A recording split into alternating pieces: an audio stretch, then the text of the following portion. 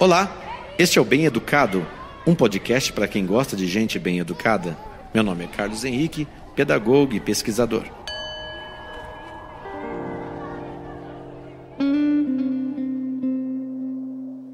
Precisamos de alguém para nos corrigir.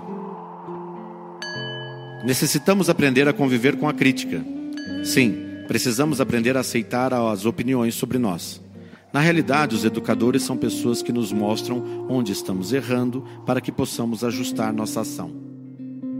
O conceito de feedback, palavra que expressa a ideia de retorno da ação, ou melhor, a crítica da ação, é muito importante para aqueles que querem ajustar suas práticas em vistas a alcançar uma vida bem-sucedida.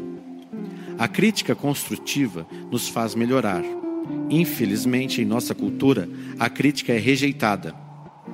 Não só rejeitamos a crítica, como odiamos os críticos.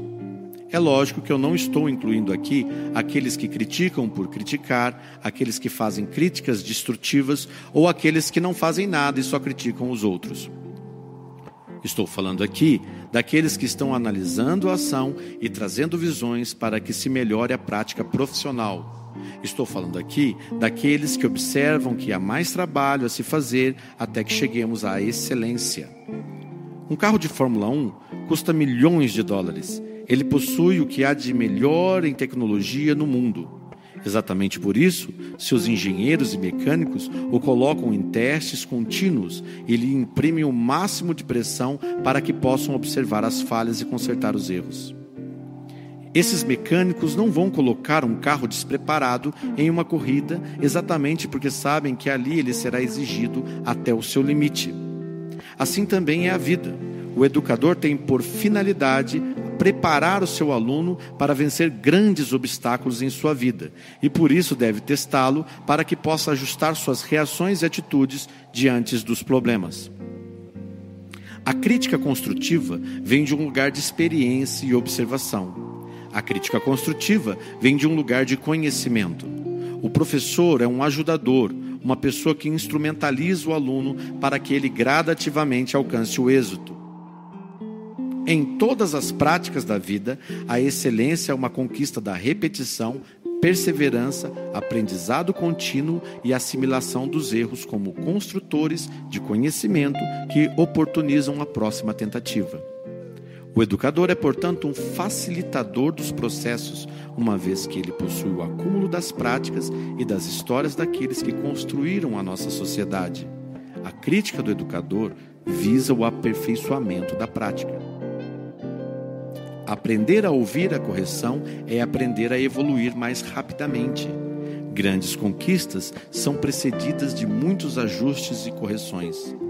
O ouvir aqui é entendido como compreender e buscar aplicar a análise recebida de maneira que o objetivo de melhorar seja alcançado.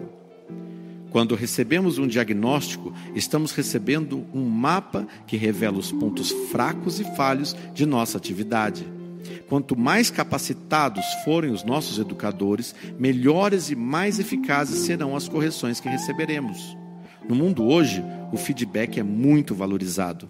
Os profissionais que analisam e apontam as falhas ou pontos fracos nas atividades empresariais são muito requisitados.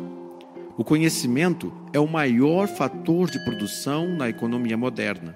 Portanto, a área educacional é importantíssima e decisiva para a realização do indivíduo dentro de uma sociedade altamente tecnológica e interligada.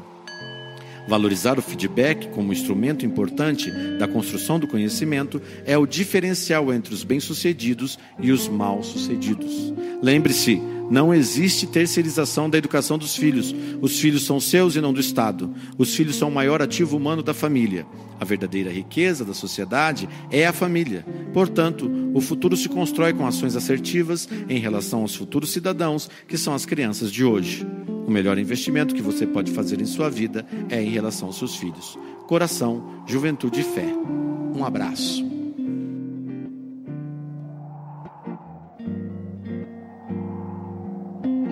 Contextos e narração de Carlos Henrique de Oliveira.